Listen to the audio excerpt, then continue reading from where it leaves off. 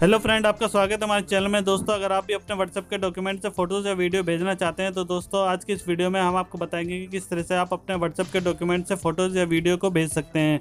दोस्तों व्हाट्सएप के डॉक्यूमेंट से फ़ोटोज़ या वीडियो भेजने से आपकी पिक्चर क्वालिटी बिल्कुल भी ख़राब नहीं होती है। दोस्तों, इसलिए आप जब भी अपनी वीडियोज़ या फ़ोटो को भेजें तो उसको व्हाट्सएप डॉक्यूमेंट से ही भेजें। तो दोस्तों, इसको इससे भेजने के लिए आपको क्या करना है? आपको इस अटैच वाले ऑप्शन पर क्लिक कर देना है। तो इस पर क्लिक करने के बाद दोस्तों, आपके सामने यहाँ पर कुछ इस तरह के ऑप्शन आ जाएँगे। आपको डॉक्यूमेंट वाले ऑप्शन पर क्लिक कर देना है। तो डॉक्यूमेंट वाले ऑप्शन पर क्लिक करने के बाद दोस्तों, आपके सामने ब्राउज अदर डॉक्स का ऑप्शन आ जाएगा। आपको सबसे ऊपर वाले ऑप्शन पर क्लिक कर देना है। तो इस पर क्लिक करने के बाद दोस्तों, आपके सामने कुछ इस तरह का यहाँ पर आ जाएगा। तो दोस्तों, अब आपको क्या करना है? ऊपर जो तीन डॉट बनकर आ रहे हैं, इस पर क्लिक करना है। क्लिक करने के बाद दोस्तों, आपके सामने यहाँ पर इमेज वीडियो ऑडियो का फोल्डर आ जाएगा। आप किसी भी फोल्डर को सेलेक्ट कर सकते हैं। दोस्तों, अगर आप वीडियो वाले फोल्डर पर सेलेक्ट करेंगे तो यहाँ से आप किसी भी फोल्डर को सेलेक्ट कर सकते हैं, जिसमें कि आपकी वीडियो पड़ी हो।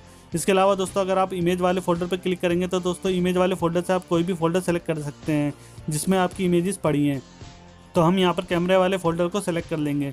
तो कैमरे वाले फोल्डर को सेलेक्ट करने के बाद दोस्तों, हम यहाँ पर एक इमेज सेलेक्ट कर लेते हैं। सेलेक्ट करने के बाद दोस्तों, आपके सामने यहाँ पर सेंड का ऑप्शन आ जाएगा।